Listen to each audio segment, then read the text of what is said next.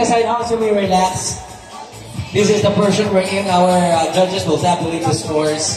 And syempre balikan natin, like criteria for judging natin would be physique and body proportion 40%, personality and character 30%, team presentation 30%, audience impact 10% for a total of 100%. Huwag niyo po kalimutan next week po ulit. Meron tayo ulit Manilas Finals Hub. That will be on October 21. Magkita-kita po ulit tayo doon.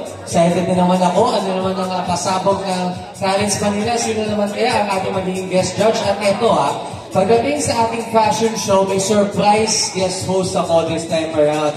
Abangan niyo po kung sino yan. Excited ako maging co-host siya in uh, our competition. But this time around, usually Hunks, kung uh, nanonood kayo nito linggo-linggo sa mga YouTube channels ng ating mga uh, vloggers, in-interview ko lang yung mga hunks natin. Hindi naman dahil mas gusto ko yung kayong ipahiya or anything, pero rather than, gusto ko kayong mas maging confident.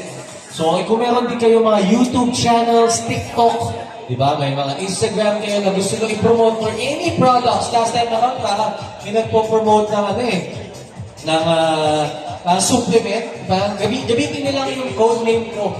Yan, para, para may promo code kayo for supplement. Anything that uh, that is for you guys, we would love to hear it.